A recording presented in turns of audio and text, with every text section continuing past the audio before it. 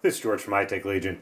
Obviously, it's the large enthusiast coolers that always get the bulk of the attention. The big dual tower coolers, the AIOs uh, and CLCs. But really, the largest part of the market that uh, is out there is going to be the mainstream and budget coolers. It's going to fit the majority of consumers' needs. Now, typically, we've seen um, quite a few, you know, budget and mainstream coolers out there. Some have made a real lot of noise, like the Cooler Master 212 Evo, but typically we don't see the major manufacturers really getting into this market. And when I say major manufacturers, I'm talking about the real top tier cooling manufacturers such as Noctua, Phanteks, Be Quiet, CryoRig. But now with the demand for it and with CPUs coming down in TDP, making it more and more possible, we're actually seeing these guys getting into it. So we're going to take a look at some pieces from Be Quiet, Phanteks, and CryoRig that are aimed at just that. They're smaller, quieter, and they are budget friendly.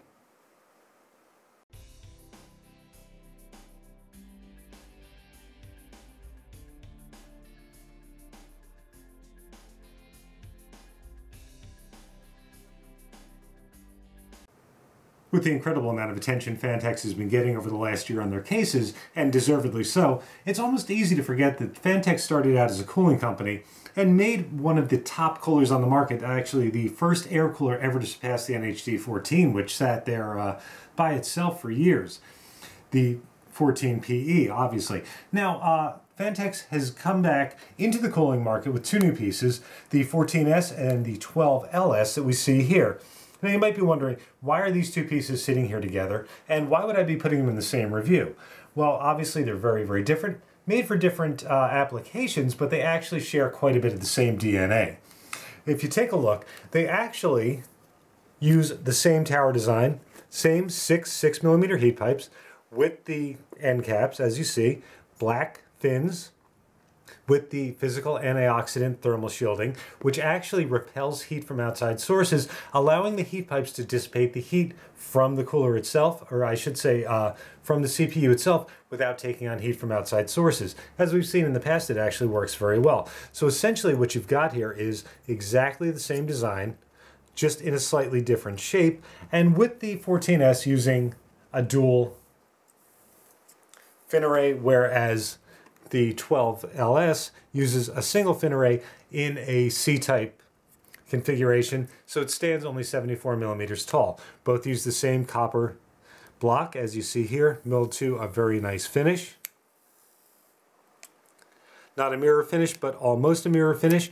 Uh, almost no mill marks whatsoever. Phanteks always does a beautiful job on their coolers, uh, and as we've seen performance-wise, they absolutely respond.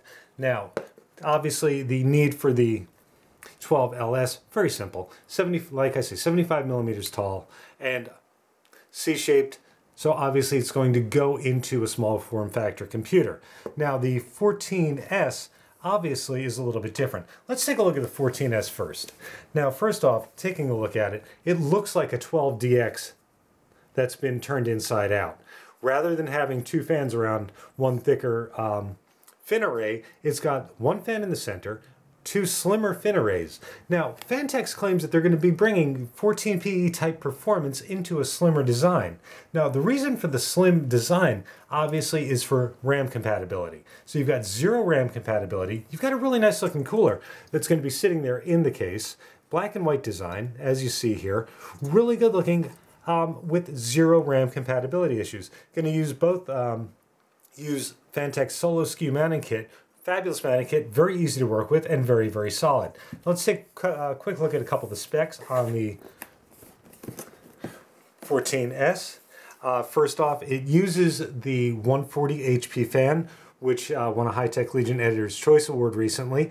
Great fan, 140 millimeter fan, capable of uh, 68 CFM, and also it's a little bit high on the static pressure side, 1.63 millimeters. So you get a great fan included here. Actually, uh, this is what the 14PE fan was upgraded to and uh, made really a nice difference, couple degree difference on the 14PE. Uh, so I'm sure it's going to do very, very well here as well.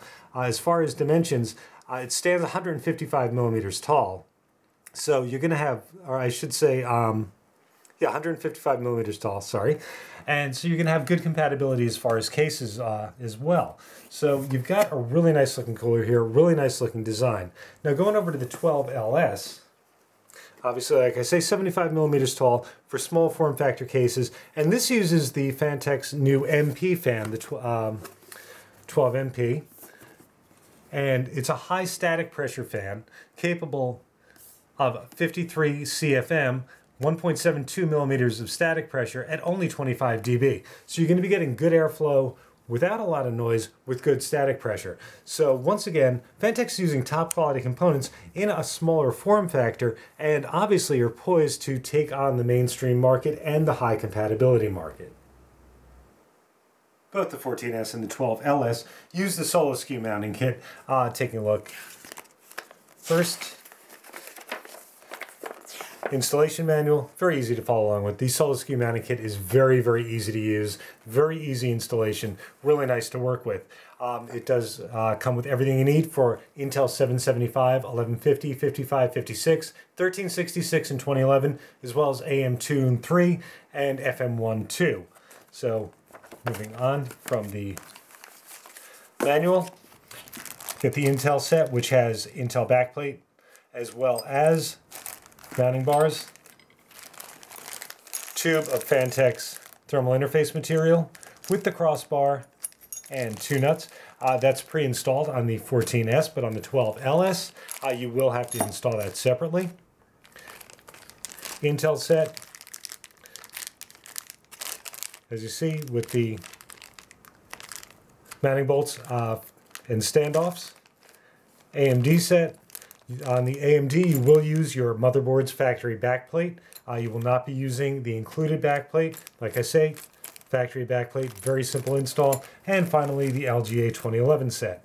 So now we looked at the kit, let's see exactly how it works. Both the 14S and the 12LS use the SoliSku mounting kit. Uh, really nice kit to work with, very easy. First step, backplate. If you're doing an Intel install, um, you've got three notches in the backplate. 775, 1155, 56, 1150, 1366. Choose the correct slot and put the four bolts through, then put the back plate onto the back of the motherboard.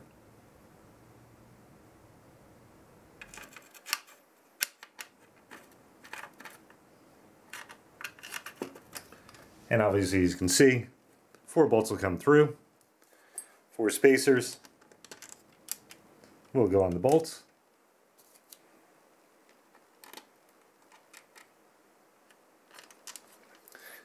And mounting brackets will go on that. Uh, very important you notice the mounting brackets themselves also have the three slots uh, for the different sockets. Very important that you have the 775, the narrowest slot, pointed towards the CPU.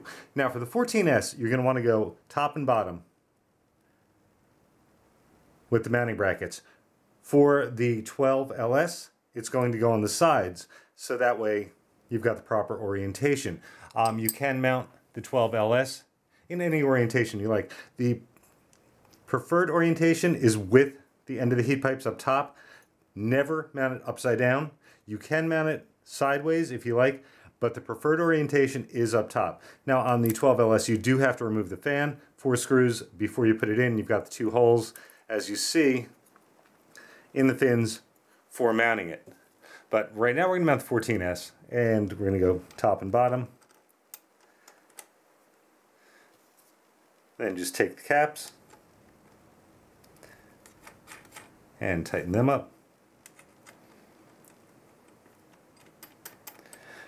Now one of the important things, you don't want to over tighten anything. Everything's got to stop. So when you feel the stop, simply stop tightening.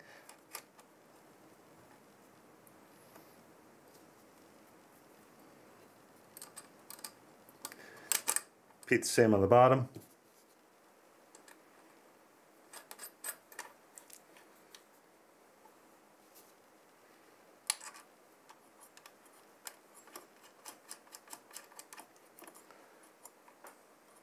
In most cases, you'll be able to hand tighten them and then you'll actually feel the stop. Uh, in some cases, you will want to use a screwdriver just for the final tighten up. But like I say, don't over tighten anything.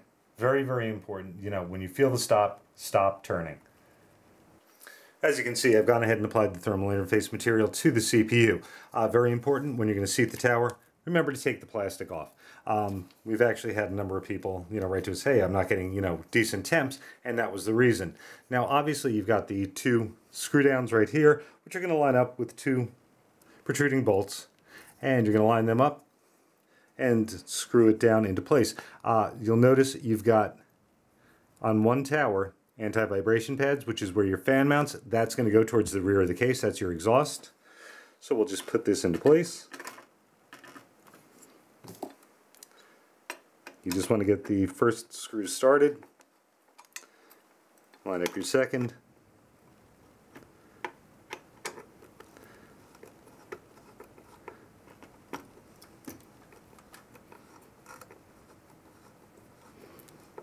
Give that a start as well. Then alternate back and forth until you feel the stop. You will feel a distinct stop. And I actually didn't have a start on the first on the second one.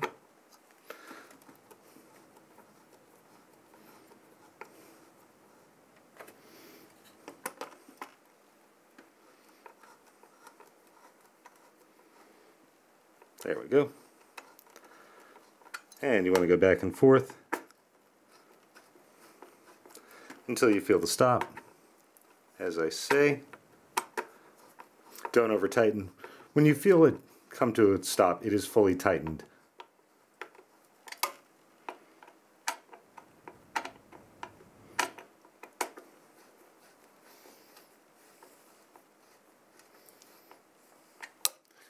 And tower's in place. Just need to clip the fan into place and connect it. We're good to go using the SoliSku mounting kit, you know, as we've seen before, very, very easy install, very solid install. The 14S looks really interesting in the case. Um, of course, taste is subjective. Personally, I think it's a good looking cooler, uh, especially with the black end caps. Now, as you can see, as far as RAM clearance, doesn't even come close to the first RAM slot. You've got complete RAM compatibility there. No worries whatsoever. So let's get the 12LS mounted up and take a look at how that looks.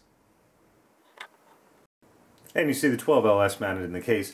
Uh, a little bit different situation here. Again, nice looking, very clean lines, black and white, minimalist uh, type look. Now, you've got three slots completely unimpeded by the 12LS itself. The first slot, you do get overhang from the fan, not from the tower itself. So you've got about 47 to 48 millimeters back there. So you are going to be able to get RAM back there with a little bit of a heat sink. Um, something along the lines of a G-Skill Sniper, uh, the Trident with the uh, top heatsink removed uh, G Skill, or I should say uh, Kingston Fury, etc. You know, the smaller heatsinks. You're not going to get a you know uh, stick of vengeance back there or you know anything of that nature. But like I say, you've got about 47, 48 millimeters back there is uh, best I can measure. Uh, the other three slots again completely unimpeded. So looks good in the case. Now let's take a look at how they perform turning our attention to the cooling performance, first we're going to start with the 14S.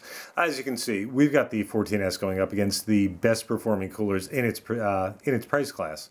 And as you see, uh, with stock clocks holds up very, very well. One of the things I do want to point out here, that 34 dB, while it's only a couple of dB quieter than the CryoRig H5, and obviously substantially lower than the uh, 12DX, the 34 dB, the 14S is a very smooth sounding cooler.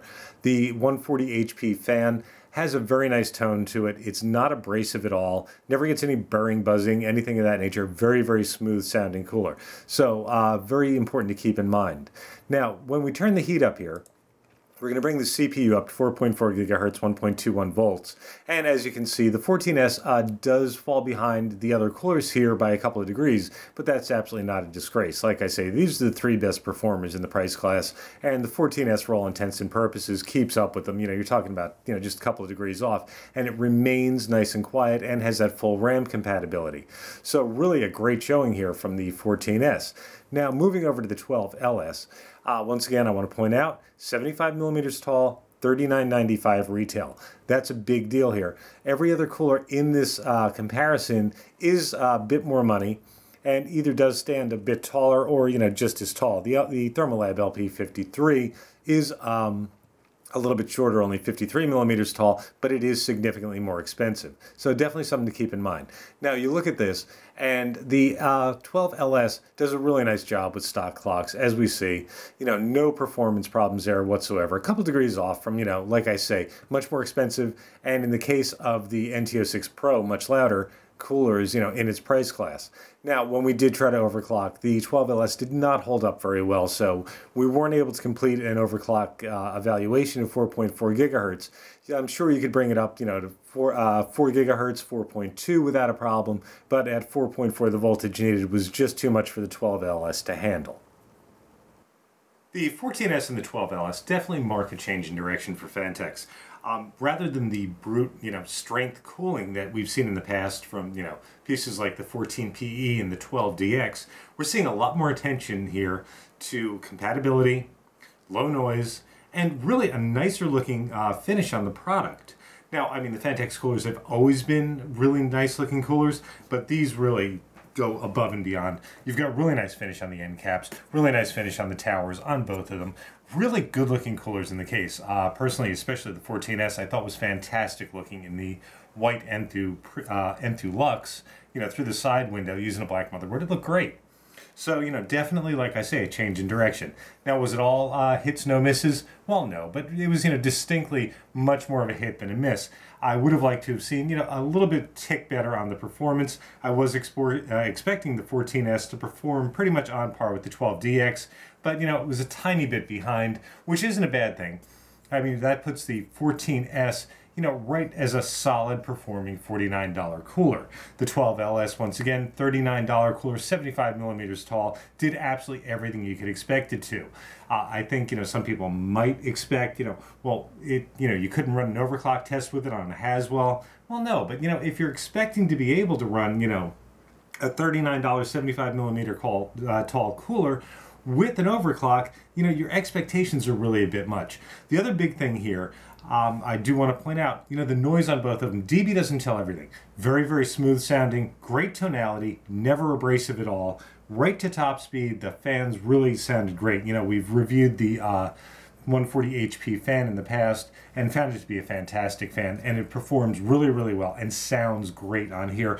The uh, 120 MP found on the 12LS, same deal, very smooth throughout, great tonality. So they're really, like I say, compatibility is great, noise is great. Phanteks really did what they set out to do.